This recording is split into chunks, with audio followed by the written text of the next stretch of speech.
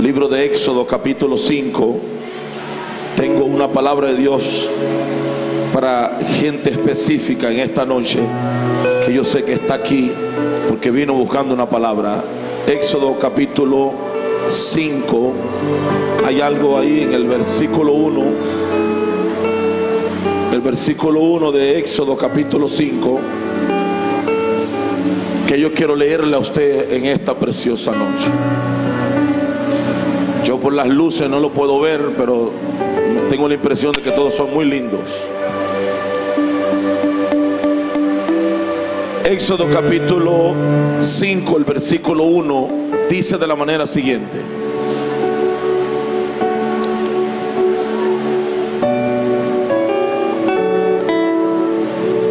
Leo en el nombre de Jesús.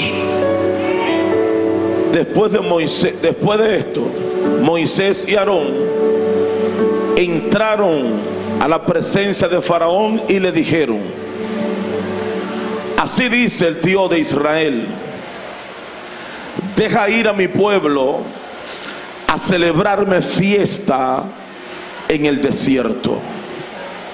Oiga eso.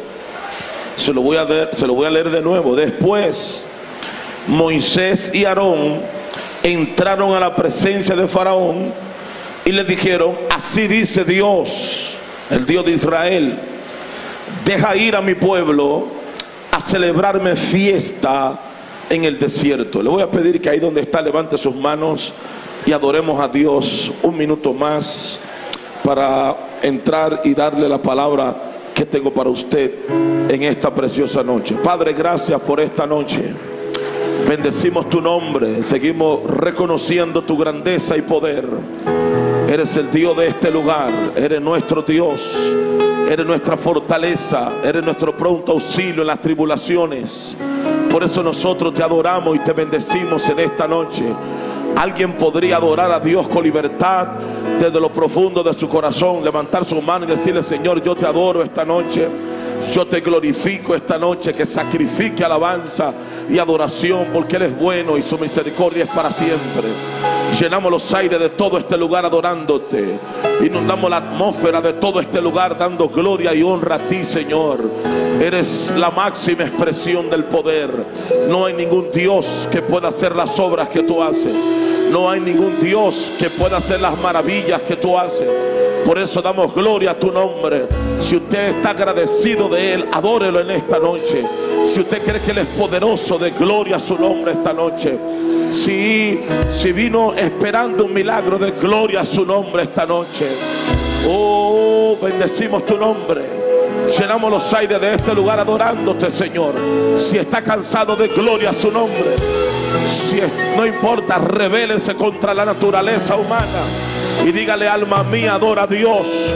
Y no olvide ninguno de sus beneficios.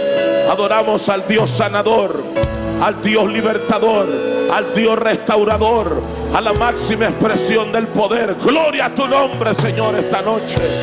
Oh, activa a los adoradores genuinos. Activa las adoradoras genuinas que hay en este lugar. Adoramos al Rey. No se distraiga. En este momento solamente adoramos a nuestro Señor. Levantamos un altar para adorar al Rey. Para adorar a nuestro Salvador. Para adorar nuestro libertador. Para adorar nuestro escudo. Nuestra fortaleza. Nuestro pronto auxilio en las tribulaciones. Oh, gloria a tu nombre. Gloria a tu nombre, Señor. Oh, gloria a tu nombre. Si siente que no le puede adorar con libertad, haga lo que hizo David. Que le dijo, Señor, saca mi alma de la cárcel para que yo pueda adorar tu nombre. Oh, gloria a tu nombre. Gloria a tu nombre, Señor. Bendito tu nombre por siempre. Aleluya. Aleluya. En esta noche, Señor, voy a hablar tu palabra en este lugar. Hablo a este lugar, hablo al Espíritu y hablo al entendimiento. Y declaro una palabra de vida, de restauración. Una palabra, Señor, de respuesta a la gente que estuvo esperando tu respuesta. Una palabra de edificación, de consolación, de corrección si es necesario. Levanta al que está caído. Dale fuerza al que no tiene. Activa lo que están entenebrecidos. Revélale tu plan de vida. En el nombre de Jesús estoy declarando que este lugar recobra vida, que tu presencia toma control de todo este lugar. Estoy puesto de acuerdo con los guerreros y las guerreras que hay aquí. Levante la mano las guerreras y los guerreros que hay aquí. Establecemos el control absoluto de Dios sobre este lugar. Atamos toda fuerza de las tinieblas. Atamos toda operación de las tinieblas en los aires. Dejamos sin efecto el poder de las tinieblas. Todo bloqueo mental, toda duda, toda distracción, todo lo que quiere impedir que tu nombre sea glorificado, queda reprendido y atado. Todas las fuerzas de las tinieblas quedan inoperantes en este lugar, en este instante, por los méritos de nuestro Salvador. Lo estamos declarando en esta hora. El único poder autorizado a moverse con libertad aquí es el poder de Cristo Jesús, sanando, libertando, llenando, salvando, levantando al caído, haciendo milagro para gloria y honra de tu nombre, Señor. Alguien tiene que decir amén y darle un fuerte aplauso al Señor. Más fuerte el aplauso.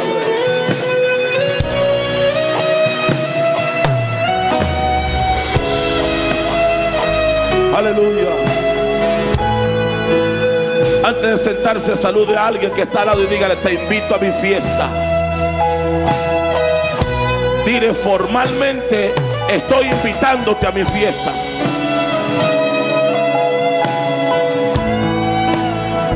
Aleluya. Puede tomar asiento un momento.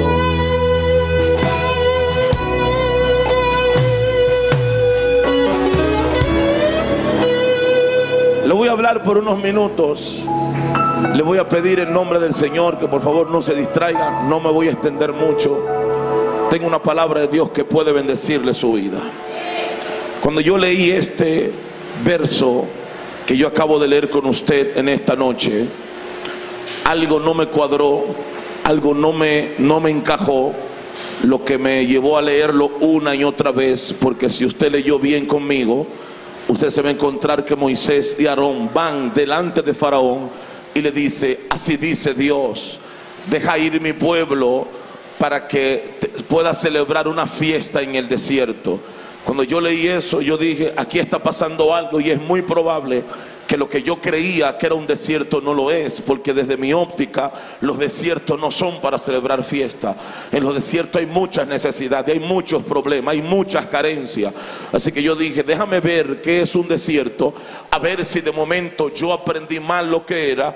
Y por eso cuando ahí Dios dice que Él quiere celebrar una fiesta en el desierto, a lo mejor cierto tiene que ver con otro tipo de, eh, de, jacuzzi, no sé, de resort. déjame ver si yo leí bien.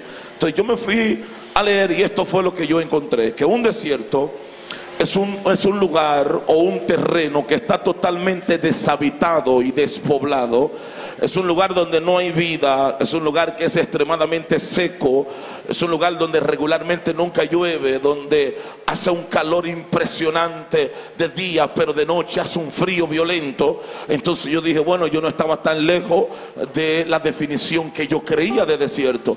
Estoy viendo que en los planos secular está eh, estos datos, yo me lo encontré fue en internet, veo que un desierto es un lugar seco, es un lugar despoblado, es un lugar solo, es un lugar donde de, noche el frío no se aguanta, de día hace un calor extremo, es un lugar donde no hay manera de vivir.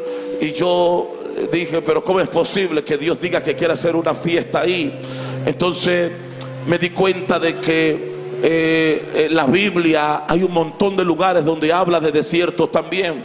Por ejemplo, Deuteronomio capítulo 32 dice, que los desiertos son lugares de horrible soledad. Es decir, describen a un desierto como un lugar donde hay una soledad extrema.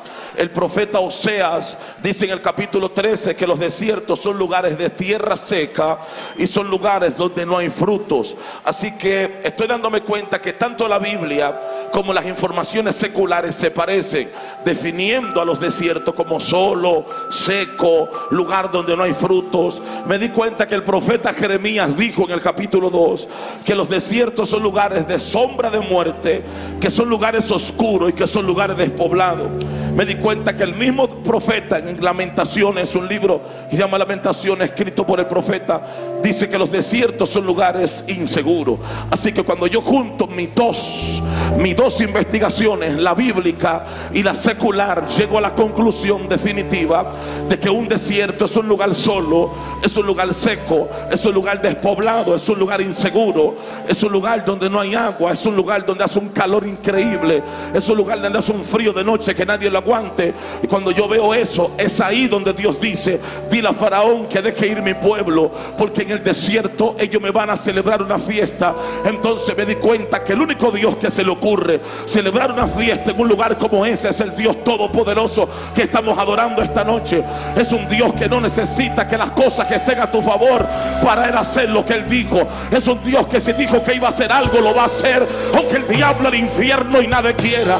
Es un Dios que no necesita que lo ayuden. Es el Dios más grande de todos los dioses. ¿Cuántos alaban la gloria al Señor esta noche? Así que lo que Dios está diciendo es, no me importa que sea seco el lugar. No me importa que sea inseguro. No me importa que nadie viva. No me importa que haya calor. No me importa que sea un lugar invivible. Yo, el Dios Todopoderoso, estoy diciendo que ahí habrá una gran fiesta. Lo que Dios dice se cumple. Lo que Dios establece se crea. Lo que Dios dijo va a ocurrir por encima de todo lo que las tinieblas digan. Y yo vengo a decirle a alguien en esta noche, todo lo que tú necesitas es una palabra de Dios. Porque si Dios dijo algo, todo el diagnóstico médico infernal, climático, va a cambiar acerca de lo que Dios ya dijo. A su nombre sea la gloria esta noche. Ahora escuche esto. ¿Por qué iniciamos hablando de esto? ¿Por qué? Nosotros iniciamos hablando de esto hoy en la primera noche que le tengo una noticia que al principio no es tan grata, pero luego usted la va a digerir mejor. Y es que de toda la creación de Dios, Dios hizo los mares y la Biblia dice en el libro de Job que Dios le pone término a las olas. Es decir, Dios dice, esta ola no se puede pasar de aquí. Y hasta ahí llega. Dios hizo los animales, Dios hizo las estrellas. De toda esa creación hay una sola, que somos la nuestra, donde la Biblia dice que Dios se arrepintió de haber hecho al hombre. Y usted diría, wow, ¿y cuál fue el problema con nosotros? Si Él hizo todo y no se arrepintió de hacer nada más que cuando dice que hizo al hombre, se arrepintió. ¿Por qué? Porque Dios le dio una facultad al hombre, al ser humano, a usted y a mí que se llama albedrío o voluntad, que es la capacidad que yo tengo de decidir lo que yo quiera hacer. Yo quiero que usted sepa que Dios no le pone una pistola en la sien a nadie para que haga algo. Dios es un caballero y dice en su palabra, yo estoy a la puerta y llamo. Si alguien me abre es que yo entro. Dice en su palabra, yo pongo delante de ti la bendición y la maldición escoge el camino que tú quieras. E, e, es un caballero. Él dice, si yo, si yo, si yo llamo, el que me abre, yo entro. Para yo entrar ahí hay que abrirme la puerta. Es decir, Él no obliga a nadie. ¿Y qué pasa? Que a la persona tener esa facultad llamada libre albedrío o voluntad de hacer lo que quiera, la Biblia dice que los designios de los pensamientos del corazón del hombre son de continuos al mal. Es decir, la gente siempre prefiere irse por el lado malo. La gente siempre tiene como un imán que es atraído a hacer lo incorrecto, a hacer lo que no le agrada a Dios. Entonces, ¿Qué ocurre con algunos de ustedes que están aquí esta noche? ¿Qué ocurre con algunos de los que me están oyendo inclusive en sus propias casas? ¿Qué pasa? Y es que hay algunas personas en esta tierra que tienen un destino marcado por Él. Hay gente que Dios lo va a usar o lo va a usar. Hay gente que nunca se le va a poder escapar a Dios. Hay gente que Dios lo va a traer o por las buenas o por las malas. Pero el diseño dice, tengo un plan con Él y yo lo tengo que ejecutar. Entonces la pregunta es, ¿cómo yo hago con una gente que lo quiero usar, lo quiero bendecir, tengo un plan para ello, pero regularmente su inclinación es al mal. Es decir, siempre esa gente no quiere hacerlo de Dios primero, tiene sus propios planes. Como Dios lo hace. Dios creó un lugar. Dios creó un lugar que dijo, yo no lo voy a obligar. No le voy a poner una pistola en la sien. Pero le aseguro que cuando salgan de ese lugar, ellos van a decidir por mí solos. Dios creó un lugar y dijo, no lo voy a obligar a nada. Pero cuando ellos se den un paseíto por ahí y salga, el lugar es tan terrible que van a salir alineados a lo que yo he dicho de ellos. Ellos van a salir maduros, van a salir con capacidad de discernir bien entre el bien y el mal. Y ese lugar se llama desierto. Diga conmigo desierto. Escuche esto. Así que toda persona que tiene un llamado de Dios en esta tierra, lo quiera o no lo quiera, le guste o no le guste, lo crea o no lo crea, va a tener que darse un paseíto por el desierto. Algunas fórmulas evangélicas de esta época te están diciendo, ven, no necesitas hacer eso. Te sacamos directamente de Egipto te montamos en un helicóptero, te llevamos volando y te depositamos en la tierra prometida. Ese tipo de evangelio no, no existe, es una mentira, es una falsa. Ese tipo de gente cuando están en la tierra prometida, al no haber estado expuesto al desierto, la primera prueba lo mata. La primera calumnia lo deprime, que se van de la iglesia y no vuelven más. El primer chisme que el diablo le levanta en su contra, lo sacan de combate nunca caminaron el desierto. Pero hay una generación de mujeres y hombres que algunos están aquí hoy que no se lo llevaron en un helicóptero. Tuvieron que salir de Egipto y atravesar todo el desierto caminando. Ahora cada vez que el diablo le viene con un cuento, son capaces de decirle, escúchame bien diablo, yo conozco a Dios obrando en misterios. Yo he visto, no sé si usted me está oyendo, he visto a Dios obrar de manera asombrosa. Lo he visto sanar, lo he visto defenderme, lo he visto librarme. ¿Cuántos alaban la gloria de ese Dios esta noche? Así que no es lo mismo un cristiano que no pasó por el desierto que uno que ya pasó por el desierto. Para que el diablo derribe a alguien que ya ha estado expuesto al desierto, no le va a ser tan fácil. Esa gente sabe que Dios hace cosas raras para librar a sus hijos. Ah, no sé si usted me está oyendo. Esa gente sabe que Dios hace lo que tenga que hacer para poner protección sobre sus hijos. Entonces me di cuenta que lo que pasa es cuando te llega el desierto, tú no lo conoces con la palabra desierto. Tú lo conoces con otra palabra, prueba.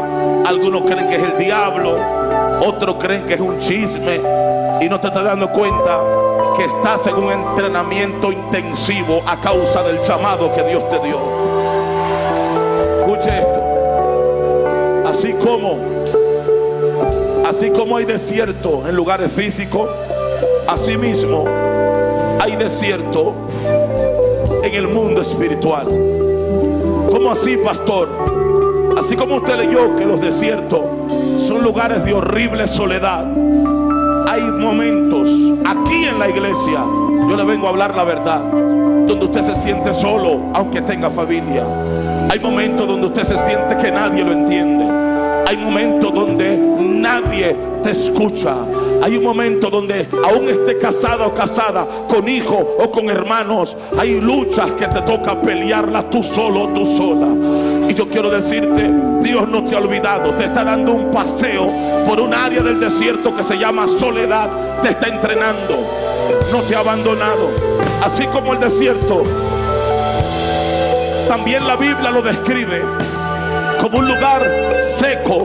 Quiero que sepas que en el plano espiritual hay momentos donde te sientes seco, donde oras, donde ayunas y crees que Dios no está contigo. Siente que Dios no te escucha. David decía, como el siervo brama por la corriente de las aguas. Así clama por ti, oh Dios, el alma mía. Mi alma tiene sed de ti. David decía, me siento seco. No quiere decir que Dios te abandonó. Te está dando un paseíto por un área del desierto que se llama sequía. Pero Él está contigo como poderoso gigante. ¿Cuántos pueden adorar la gloria del Señor? Hay más. Hay momentos en este camino donde te vas a sentir inseguro. Hay momentos donde te vas a sentir traicionado. Son áreas de desierto. Le voy a decir más. Hay momentos donde te vas a sentir triste. Hay momentos donde vas a batallar con tristeza que tú podrías ni siquiera saber de dónde vino. Te voy a decir más. Hay desiertos que tienen que ver con salud. Yo salí de campañas y la gente me testificaba, pastor terrible. Mi mamá se sanó anoche con una palabra que usted declaró. Y luego llegaba a mi casa y mi hija estaba grave con una fiebre impresionante. Que mi oración no le funcionó. Yo vi gente sanarse, pero yo vi gente que en mi casa mi oración no funcionaba. Porque teníamos que enfrentar desiertos de enfermedades. Teníamos que pasar cosas. Pero ¿por qué Dios permite eso? hay desiertos que tienen que ver con ser oprobio de los demás. Hay, temporadas donde la gente comienza a inventarse cosas tuyas, a decir que te vieron aquí, que tú hiciste tal cosa, que tú dañaste esto. Se comienzan a inventar locuras tuyas que tú nunca has cometido. Y tú dices, pero ¿por qué a mí? Todas estas son áreas específicas de desierto donde Dios te está preparando. ¿Por qué te está preparando? Porque para donde tú vas necesita estar entrenado en todas las áreas. Necesita estar capacitado en todas las esferas. Dios no se puede arriesgar a depositar una gloria en tu vida, una capacidad sobrenatural para que de la primera prueba que te venga tú vayas a deprimirte, a llorar, a decir Dios no está conmigo. Dios necesita que te vuelvas un todoterreno. Que cuando Él te supla, tú digas Dios es bueno. Y si no te suple, tú digas igual, Él es bueno. Que cuando Él te sane, tú digas Él es Dios. Y si no te sana, tú dices Él sigue siendo Dios. ¿Cuántos pueden adorar la gloria de Dios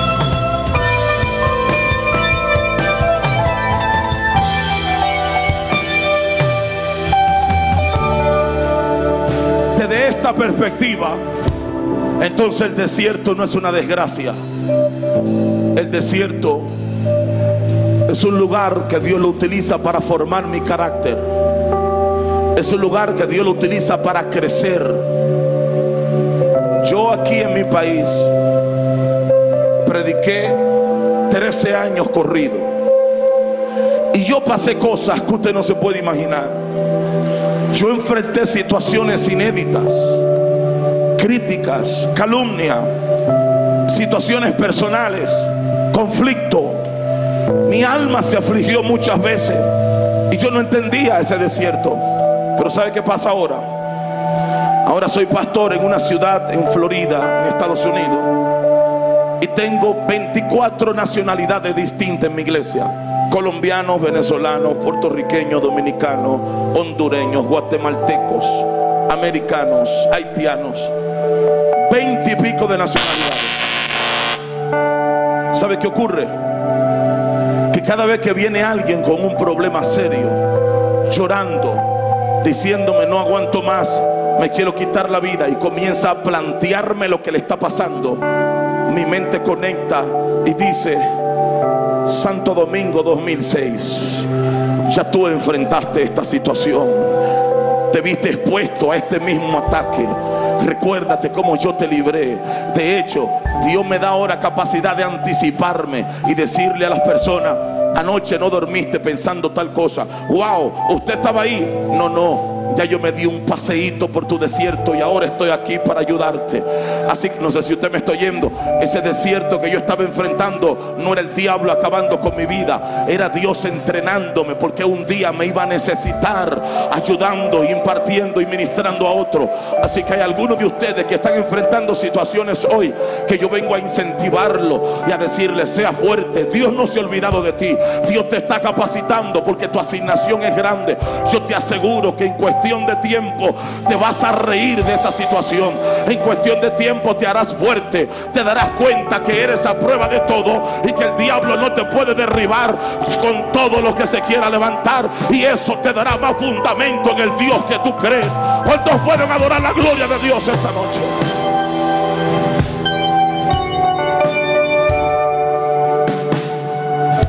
Si usted lee la Biblia, no hay un solo lugar que se hayan visto más milagros que en el desierto. En ese lugar el mar se dividió. En ese lugar cayó comida del cielo. En ese lugar apareció agua de la roca. En ese lugar las personas crecían con todo y ropa.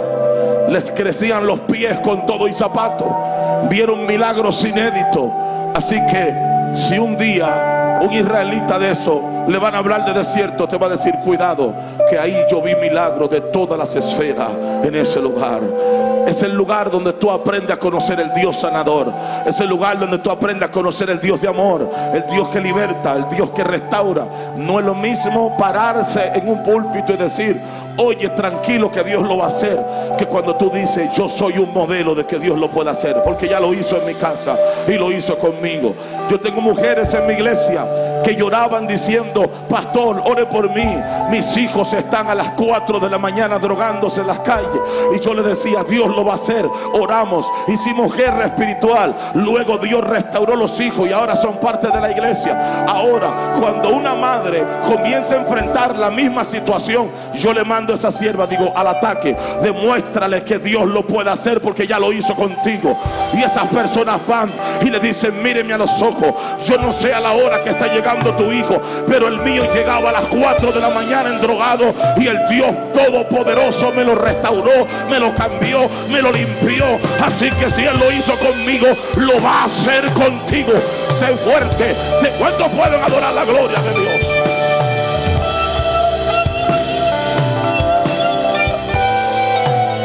¿Cuántos alaban la gloria del Señor? Yo leí una historia que ayer en la mañana me dio con refrescarla y leerla acerca de un hombre en la Biblia llamado Jacob. La Biblia dice que Dios tenía un plan grande con ese hombre. A tal, a tal nivel que el día que fue bendecido por su Dios, porque así Dios lo había determinado, ese día que le cayó la bendición encima, su propio hermano de padre y madre lo amenazó de muerte y le dijo, vive Jehová, que te voy a arrancar la cabeza por haber tomado una bendición que era mía. La Biblia dice más, dice que la mamá de ellos dos vio el conflicto en sus hijos y le dijo a Jacob, mi hijo, vete de aquí que tu hermano te va a matar. Entonces, si usted mira ese cuadro, está hablando un hombre llamado Jacob que tiene un hermano, tiene un hermano que lo está amenazando de muerte y el hermano era un tipo peligroso. Número uno. Número dos, tiene la mamá que le dice, vete de esta casa porque tu hermano te va a matar y yo no te voy a poder defender. Tiene que agarrar sus cuatro ropitas y salir, ¿sabe para dónde? Ni él sabe para dónde, porque ahora usted tiene un GPS en su celular y antes no existía. Él le dijo, mamá, ¿para dónde voy? Le dijo, mira, yo tengo un hermano, trata de encontrarlo, es tu tío. No hay foto para decir, muéstramelo. No sé si se parece a mí, es ese, búscalo. Así que tuvo que salir sin rumbo, sin GPS. Imagínese usted la frustración que está enfrentando este pobre hombre. Me botan de mi propia casa. Mi propio hermano me quiere matar. No sé para dónde ir. No tengo casa. Tengo que abandonar mi tierra donde yo crecí. La escuela donde yo estudié. El barrio donde yo me crié. Y ahora tengo que salir a un lugar que ni sé para dónde voy. Ahí hay como cinco desiertos en uno. Soledad, depresión, amargura. Y va caminando y llorando. En el camino le agarra la noche. Le da un sueño terrible, deprimido, muy triste. Y en medio de la noche ve un lugar y dice, déjame acostarme aquí para seguir mañana mi ruta. Ve una piedra que está ahí y se la pone de almohada. Se acuesta, comienza a dormir. Mientras está durmiendo, tiene visiones de Dios. Ve una escalera que tiene un extremo en, el cielo y otro extremo en la tierra. Comienza a ver ángeles que suben y bajan por la escalera. Por encima de la escalera escucha la voz del Dios Todopoderoso que le dice, Jacob, no temas. Yo soy el Dios de tu abuelo Abraham y soy el Dios de tu padre Isaac y ahora soy tu Dios. Esa tierra donde está acostada es tuya, yo te la regalo. Estoy haciendo un pacto contigo. El que se levante contigo tendrá que verme la cara a mí. Yo seré tu Dios. Nadie te podrá hacer frente. Le está diciendo, no te voy a dejar hasta que haya cumplido todo lo que he hecho. Yo quiero que usted mire esto. Quiero que usted mire esto. El hombre se levanta y dice, wow, acabo de tener una experiencia con Dios. Acabo de oír a Dios que me dice que es mi Dios. Acabo de oír a Dios que me dice que me va a defender. Acabo de oír a Dios que me dice que la tierra donde estoy es mía, que Él me la regala. Acabo de oír a Dios que me dice que no me va a dejar nunca hasta que cumpla todo lo que me prometió. Hay un solo detalle, pastor, que a mí me llamó la atención de ese capítulo y es que si usted analiza la historia de Jacob, aunque vivía en la casa del hombre más ungido de la tierra, no hay registro de que Dios se le apareció antes para hablar con él. Dios nunca le habló en esa casa. Dios nunca le habló a través de su mamá ni de su papá. Dios nunca le habló ni siquiera en la iglesia que iba ni en la escuela. En el peor momento de su vida, llorando, triste, con una amenaza de muerte, con un lugar donde no sabe ni dónde va a dormir, enfrentando lo que parecía la peor desgracia de su vida, tiene una experiencia con el Dios Todopoderoso poderoso. Así que ese desierto no era una cosa mala, ese desierto era una cita divina. Él creía que era lo peor de su vida cuando en realidad era lo mejor de su vida que le estaba enfrentando. En realidad, por primera vez oye a Dios. En realidad, ve ángeles que suben y bajan. Él que creía que eso era lo peor, pero no era lo peor, era lo mejor. Y yo le vengo a hablar a gente que están enfrentando batallas duras, han estado llorando, pastor, pero en mi casa hay problemas, en mi finanza hay problemas, en mi salud hay problemas, en mi realidad espiritual hay problemas. El diablo te ha hecho creer que eso es lo peor que te está pasando. Y yo te vengo a decir que no es lo peor, es una cita divina. En ese desierto vas a celebrar. Alaba a Dios si puede en esta hora. Habrá celebración. Verás a Dios. Dios te hablará, te va a afirmar. ¿Cuántos pueden adorar la gloria de Dios en esta noche?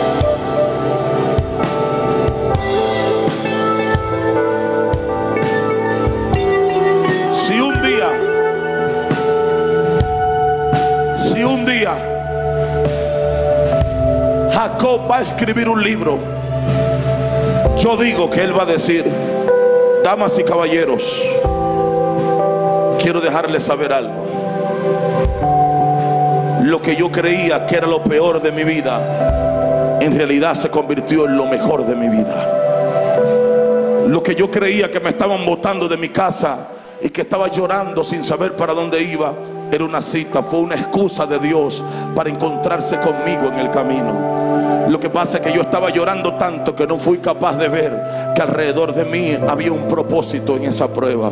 Yo vengo a decirte, no te haga más víctima. Dile, Señor, ¿qué me quieres enseñar en este proceso?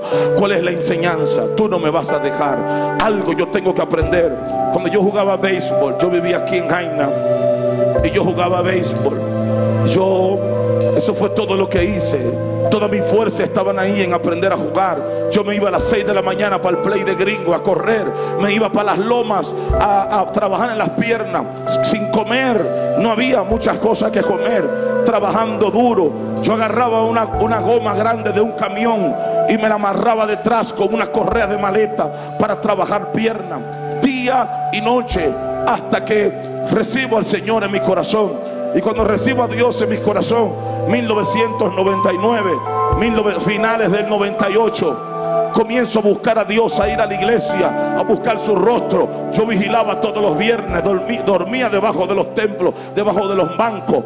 Eh, me entró con orar 5 y 6 horas al día. En ese momento me toca hacer un tryout, que es una que es ir para que un equipo me vea. Yo había hecho mucho ya. Y ese día por fin por fin, un equipo me hace una oferta, por fin. Se sentaron conmigo y mi agente y dijeron, le podemos dar 61 mil dólares. Ahora son tres pesos, pero en ese momento era mucho dinero. Comenzaron a discutir ellos dos, no me dieron muchos detalles, pero lo que supe, pues yo era muy niño cuando eso, lo que supe que en 19 días llegaban a firmar el contrato y que ya yo iba a estar firmado. Pero ya usted sabe, yo estoy orando esos días, siete horas al día, ayudando, orando. Así que yo dije, déjame ver qué voy a hacer con este dinero.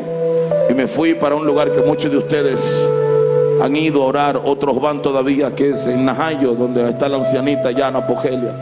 Y yo dije, voy a ir para que Dios me indique qué yo voy a hacer con este dinero.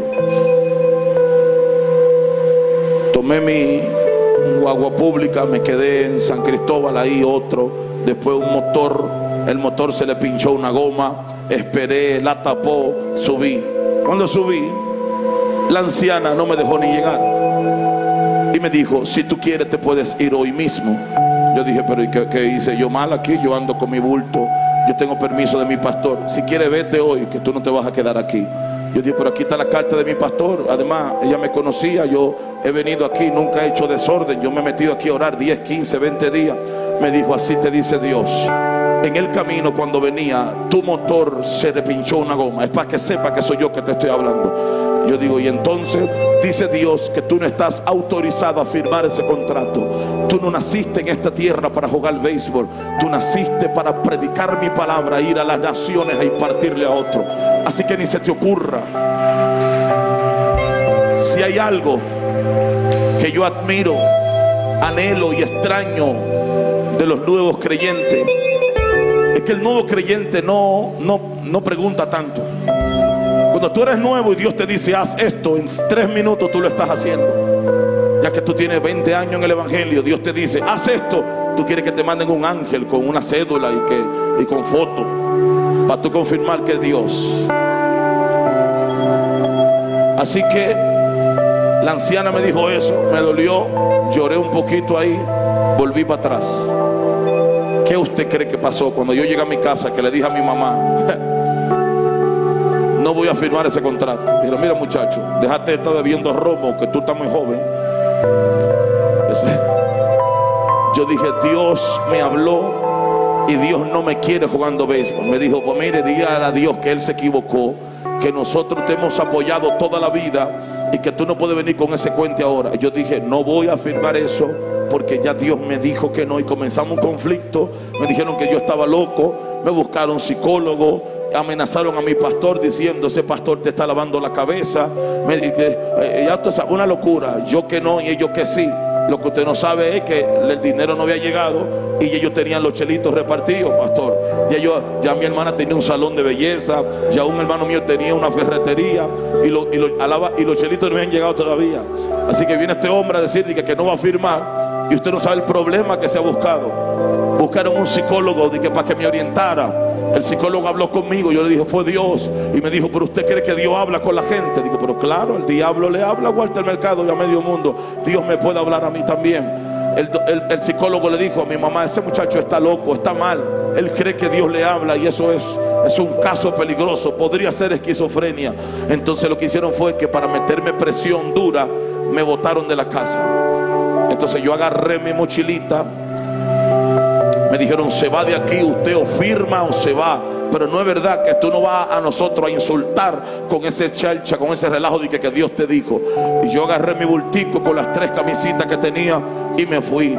Iba llorando todo el camino, no entendía, era muy nuevo para decir, pero ¿qué clase de Dios eres tú? Que en el momento donde más te necesito, mejor hace que me voten. Ni me deja firmar, ni me deja tener mi familia. ¿Será que tú estás enojado conmigo? Voy frustrado todo. Para mí era lo peor de mi vida. En lo que voy caminando, llorando en una carretera, llega un hombre en un carro Toyota Corolla 1992 rojo. Yo me sé todos esos detalles porque después yo le compré el carro ese. Y me dijo, ven acá, este no es el nuevo pelotero de la iglesia. Sí, ¿y para dónde tú vas? Digo, ni yo sé para dónde voy. ¿Y qué te pasó? Me, me, invitó a entrar y le expliqué, mire, yo soy pelotero, me van a firmar. Yo dije que Dios no quiere. Mi mamá me botó de mi casa y no sé para dónde ir. Me dijo que le diera un minuto. Salió del carro, llamó a la esposa, discutieron ahí. Mira, ¿te acuerdas del pelotero? Sí. Vamos a darle una oportunidad que esté en la casa unos días. Parece que la doña dijo que no, pero el pastor él dijo que sí. Esto, sí, no, yo sé que no tiene cara de cristiano, pero vamos a ayudarlo. Eso es rápido. Y bueno, acordaron y me dejaron estar ahí un tiempo. Me llevaron a su casa. Él era diácono de la iglesia, ahora es pastor en Estados Unidos. Luego nosotros dos levantamos una iglesia en Alcarrizo. Es el pastor Claudio Félix, muchos de ustedes lo conocen. Nosotros dimos mucha campaña con él. El Claudio me buscó en su carro y me dijo, te vas para mi casa conmigo. Y me llevó para su casa. Y yo estaba ahí, él tenía un cuartico allá arriba en el tercer piso que no lo habían terminado, pero por lo menos tenía puerta. Me dijo, no es lo mejor del mundo, pero por lo menos no está en la calle. Me buscamos una camita chiquita y ahí yo dormía. Me pasaba llorando, extrañando a mi familia. Decía, Señor, ni béisbol ni familia. ¿Qué es lo que pasa? En esos días, ahí bajé a comer a la casa con Claudio. Él le dijo a la sobrina, sírvemele comida. Él es el nuevo de la iglesia. Y la sobrina me dio comida. Luego le dijo a la sobrina, dale un poquito de agua. Yo no tengo todo el tiempo para darle la historia. Yo solo le puedo decir en síntesis que esa sobrina de él ahora es mi esposa. Escuche, es mi esposa, es la pastora conmigo allá en West Palm Beach. Es la madre de mis dos hijos que había nacido en la iglesia. Que en los momentos duros me ayudó porque ella tenía las herramientas a levantarme. Me ayudó a sostenerme en los caminos del Señor. Así que lo que yo creía que era peor desgracia que estaba enfrentando era una cita para encontrar mi esposa. No, yo no creo que usted me esté oyendo realmente. Tú no te vas a morir en esa prueba. Esa prueba es una cita divina. Ahí hay cosas interesantes que encontrar. Ahí Dios te podría conectar con tu propósito, con tu diseño. En ese desierto vas a celebrar fiesta. Ese desierto no es para muerte. Ese desierto es para que conozcas a Dios, para que veas a Dios, para que experimente niveles. Yo no sé lo que está pasando, pero yo te aseguro que si hoy tú cambias la mentalidad y pasas de ser víctima a ser alguien que dice, en aquí Dios me va a sacar de aquí Dios me va a ayudar. De aquí Dios me va a dar herramientas. Yo saldré bien. Yo tendré victoria. Yo, ¿cuántos pueden adorar la gloria del Señor? Paz a tener victoria. Denle un fuerte aplauso al Rey de Reyes, por favor.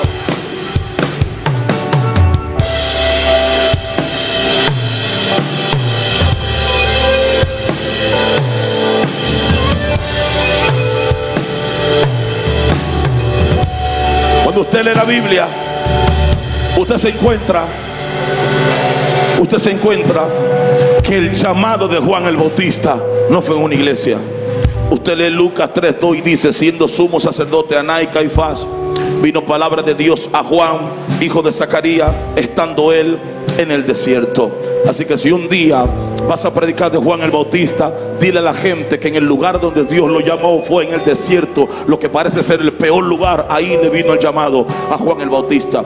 Cada vez que te leas Apocalipsis, yo quiero que tú consideres algo. Hoy en día Apocalipsis es tomado el libro referencial para conocer los tiempos finales, para conocer escatología, para ver los días de Cristo, los días del fin. Ese libro lo escribió un hombre en su peor momento, abandonado, ciego, llorando, maltratado, solo, pasando el peor desgracia de su vida. Ahí Dios le reveló los misterios de Apocalipsis. Lo que te estoy diciendo es que lo que tú crees que puede ser tu peor problema, de ahí puede venir tu mayor victoria, tu mayor revelación, tu mayor proyecto, tu mayor historia. Alguien, alguien, alguien me tiene que agarrar lo que le estoy diciendo. Ese, eso que eso que tú crees en el desierto fue el lugar donde Cristo fue tentado. Fue el lugar donde Cristo ah, le dio la paliza al diablo. Cuando el diablo se creía que lo podía vencer, el desierto fue el escenario para él demostrar que era el Hijo de Dios. Mire lo que ocurre en el desierto, dice el Salmo 107. Vuelve el desierto en estanques de agua, la tierra seca en manantiales. Allí el hambriento tendrá sacio y funda ciudades donde vivir.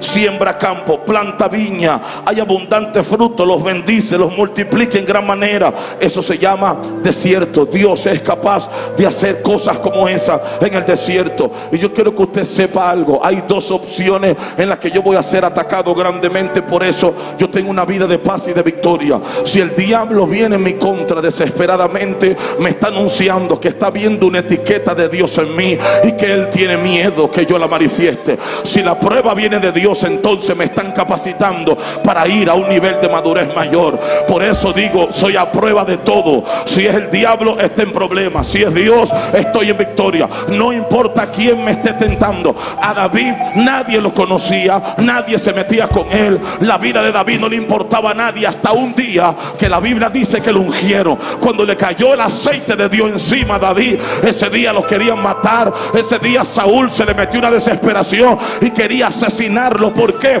Porque se dio cuenta que ahora él era un ungido. Antes que Dios te ungiera, al diablo no le importaba tu vida. El problema tuyo comenzó cuando te cayó la unción, la gracia, el poder, la manifestación de Dios. Porque ahora en las tinieblas han identificado que eres un terror para las tinieblas, que eres un peligro para el diablo. ¿Cuántos pueden adorar la gloria de Dios en esta hora?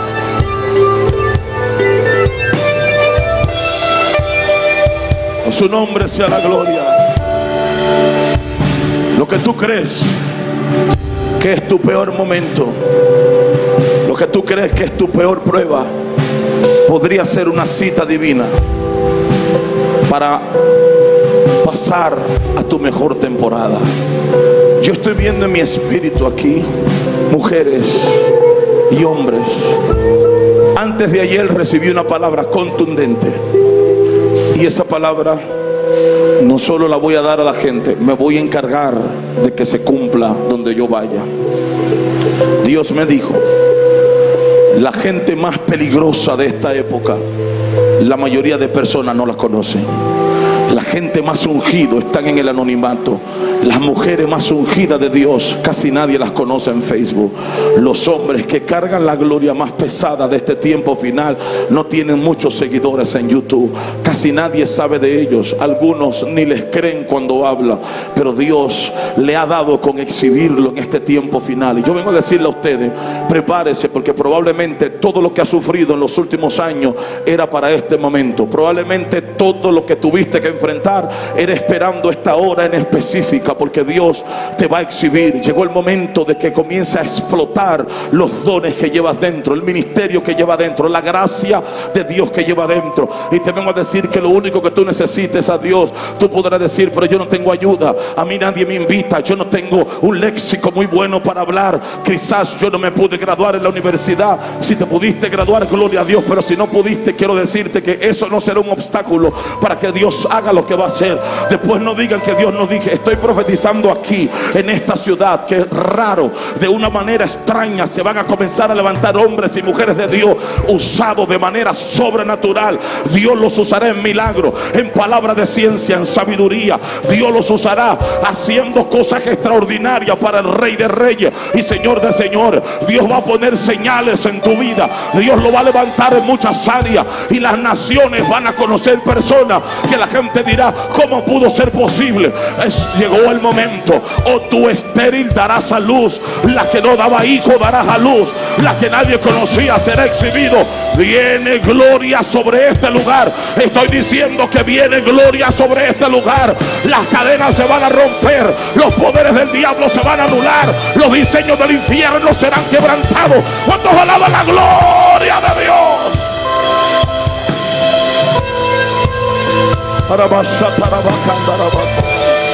Levante sus manos y adore al Rey de Reyes.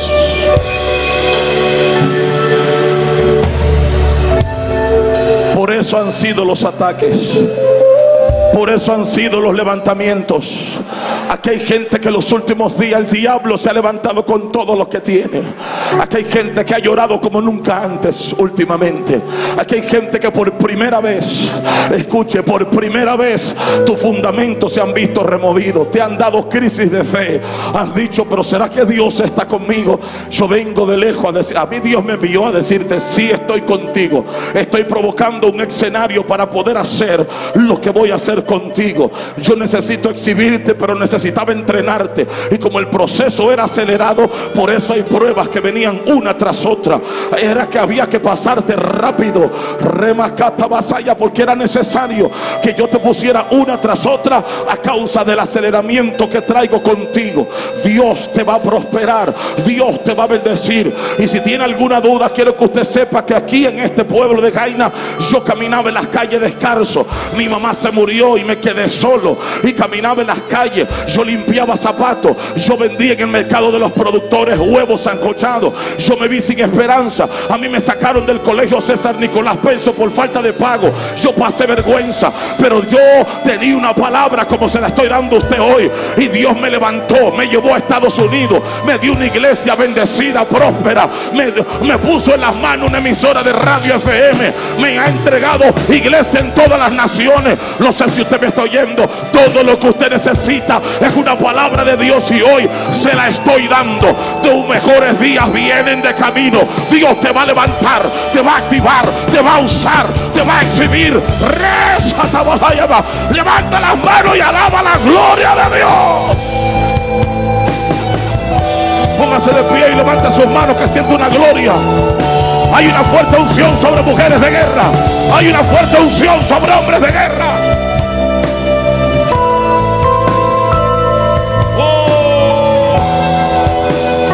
Levanta sus manos. Levanta sus manos y adora al Señor.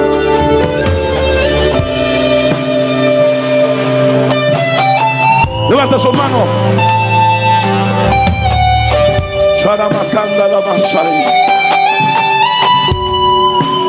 Venga tu reino, Señor. Venga tu reino sobre este lugar.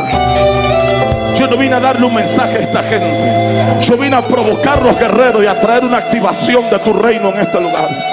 Venga tu reino. Así como tú me prosperaste a mí, tú lo vas a prosperar a ellos y más. Así como tú me exhibiste en las naciones, tú me llevaste a 26 países a predicar, ellos serán exhibidos a un nivel de gloria mayor. Así como tú rompiste cadena, tú me limpiaste, tú lo vas a limpiar y lo vas a bendecir a ellos.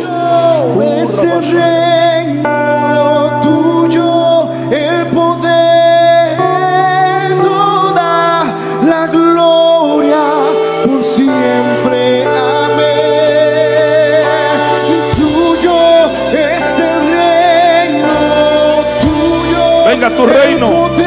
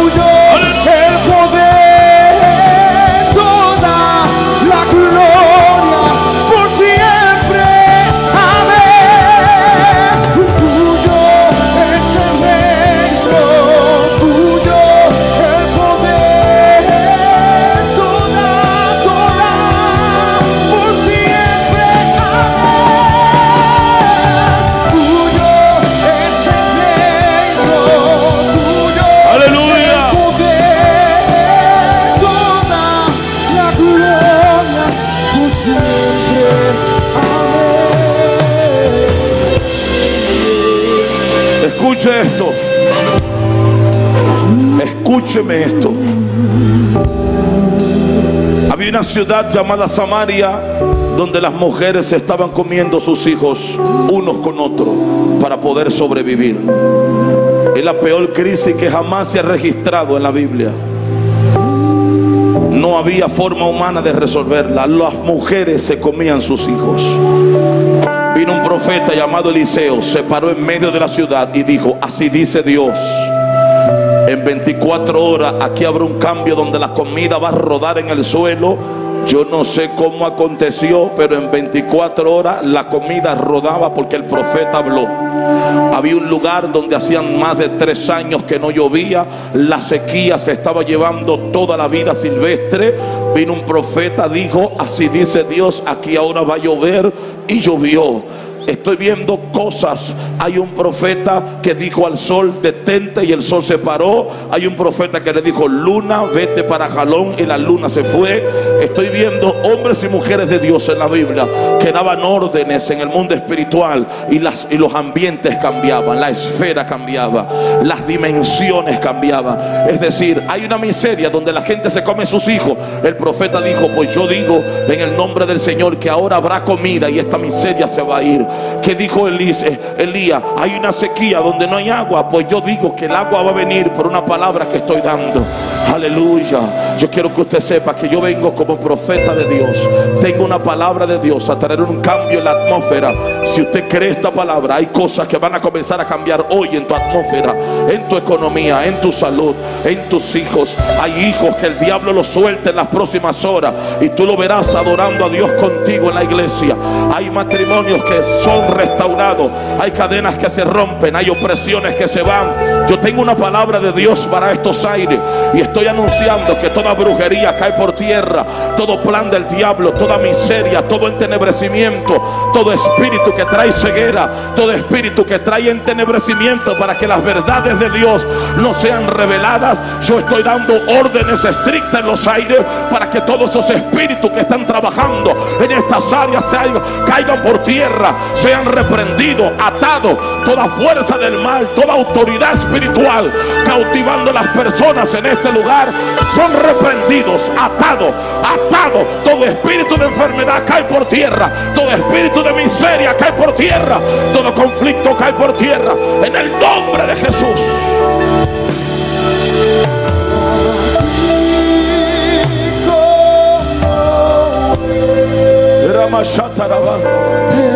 Cielo, Toda ceguera cielo, que no deja ver la luz de Cristo se rompe ahora. aquí Espíritu de oscuridad y tinieblas, cielo, te ordeno que salga fuera de las vistas para que la gente reconozca aquí la verdad de Jesús. En este ambiente, yo sé que esto es un congreso, pero en este ambiente, en este ambiente, estoy haciendo un llamado de salvación y vida. Oí la voz de Dios que me dijo, haz un llamado porque voy a arrancarle gente al diablo de las manos. Shamakanda Rebasai. Que el diablo lo suelta hoy porque es obligado. No es si quiere, es una orden. Lo tienes que soltar hoy.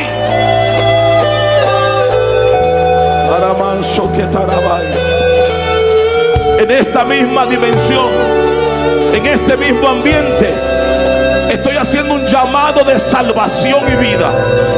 Si usted es un amigo que me está oyendo, si usted vino esta noche y todavía Jesús no es el centro de su vida, salga corriendo y páreseme aquí al frente que yo quiero orar por usted. Si usted es un amigo, si usted es una amiga, si usted es una vecina, si usted es un vecino, yo quiero orar para que Cristo sea su dueño y la vida le cambie para siempre. Le aseguro que todos esos demonios que maltratan su vida hoy van a salir corriendo a causa de la gloria de Dios que está aquí. Le estoy dando un minuto y medio para que usted se le zafe al diablo y venga corriendo y se pare aquí que yo quiero orar por usted. Si usted tiene un amigo al lado, si usted es un hermano que sabe que hay alguien que está a tu lado, que todavía Cristo no es el centro de su vida, dígale, yo creo que están hablando contigo. Yo creo que a ti Dios te está hablando. Te estoy dando un minuto y medio y ya va un minuto que pasa. Sal corriendo ahora. Yo te llamo en el nombre de Jesús. Las tinieblas caen, la oscuridad cae, la ceguera cae. Sharamacanda.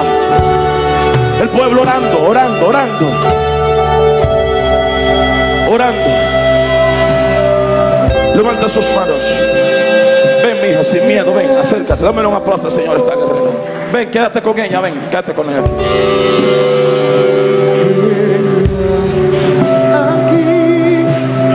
Necesito el pueblo orando en este último minuto. Que fue que escuché la voz de Dios que me dijo, necesito quitarle gente al diablo de las manos, es un peligro hoy. Entonces yo necesito que gente que está ahí, que no sabe lo que está pasando, se les revele la verdad de Cristo. Yo te llamo en el nombre de Jesús. Toda ceguera se va de ti, todo entenebrecimiento se va de tu vista y a ti se te revela la verdad de Dios. Y si usted tiene a alguien al lado, dígale, yo creo que Dios te está hablando. Estoy llamando ahora, amigo que me escucha, vecino que me escucha, si nadie te busca, salga corriendo para acá, usted mismo por sus propios pies y venga a recibir esta oración que yo voy a hacer con usted en esta hora. Aleluya. Aleluya.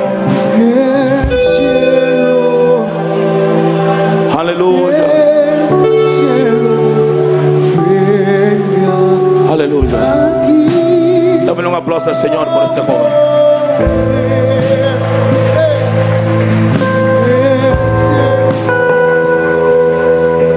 Estoy oyendo en mi espíritu. Apláudame al Señor por esta otra joven. Estoy oyendo en mi espíritu el nombre de Raúl.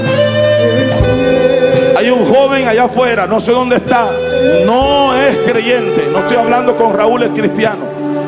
Que no le ha dado su vida al Señor. Y Dios me está diciendo, Raúl, hoy es un día histórico para ti. Inédito. Escapar este día podría ser grave para ti. Te voy a dar 30 segundos para que tú salgas corriendo de tu casa, de tu habitación o de donde quiera que te encuentres y venga a recibir esta oración de vida. Porque esto es muy serio. Aleluya. Aleluya. Tú no eres Raúl. Este es Raúl, no, no eres tú, Raúl. Tú eres una gente que viene a buscar al Señor. Estoy llamándote en el nombre del Señor. Estoy llamándote en el nombre del Señor. Satán, suelta las cadenas. Tráemelo y dámelo un aplauso Señor. Ven, ven por aquí tú también. Dámelo un fuerte aplauso Señor. Venga.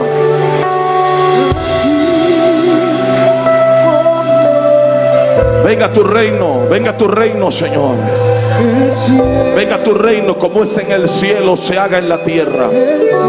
Satanás, suéltalos. Suéltalos. Suéltalos.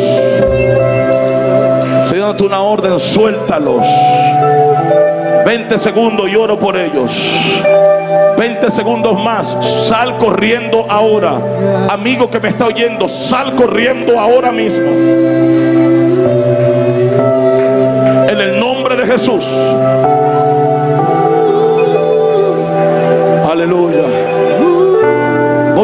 Por estos guerreros que están aquí. Corre, ven, hijo. Dale un aplauso al Señor.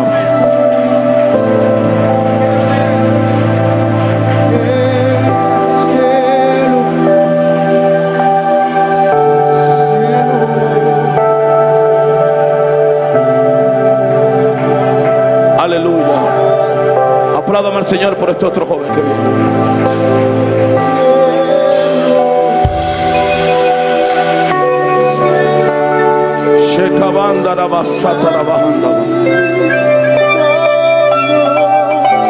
La Biblia dice,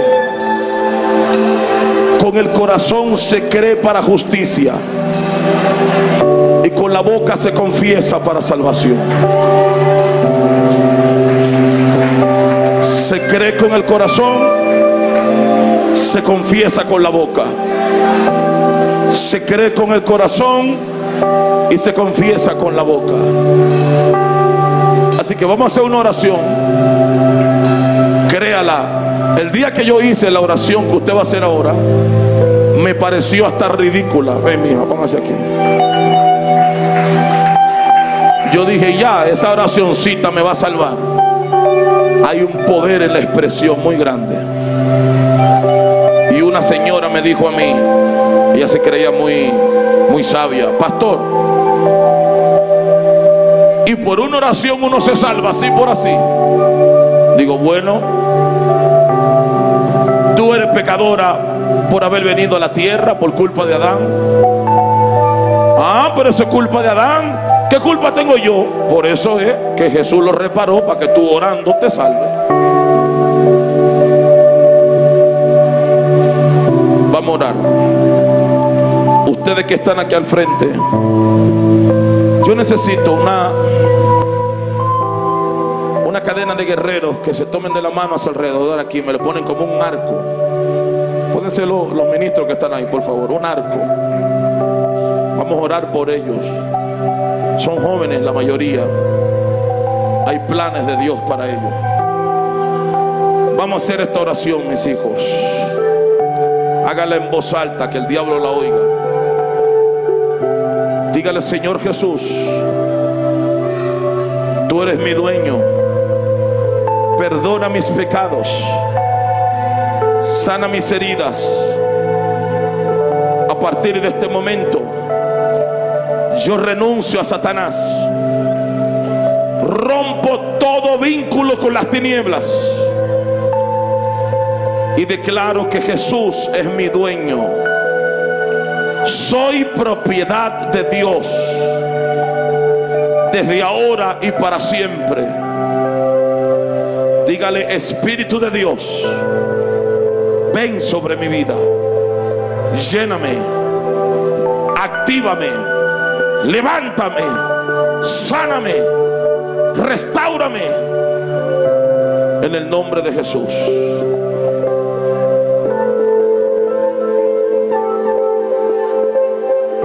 Nosotros vamos a orar por ustedes. Ustedes cierran sus ojitos.